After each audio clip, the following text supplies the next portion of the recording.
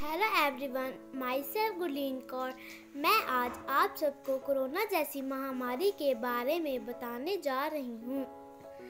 आज सबके मन में ये विचार है कि आगे क्या होगा, क्योंकि अभी तक किसी साइंटिस्ट ने इस बीमारी का इलाज नहीं ढूंढा है।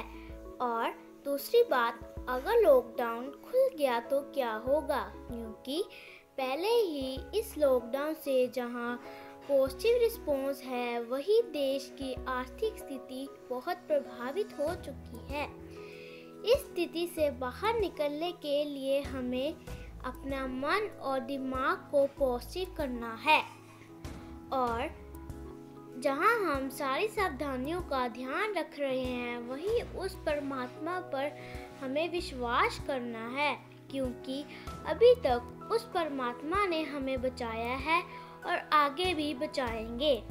हमें अपना सिर उस परमात्मा के आगे झुकाकर सारी दुनिया के लिए अरदास करनी चाहिए।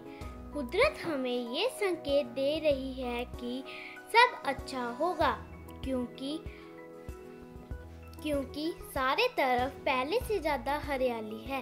तो आज के विषय में मैं ये संदेश देना चाहती हूँ कि पॉजिटिव रहें और हमेशा पॉजिटिव सोचें। और उस परमात्मा के आगे उस परमात्मा के पर विश्वास रखें कि अच्छा समा जल्द आएगा।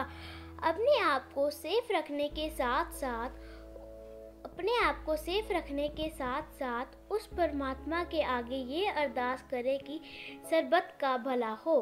Thank you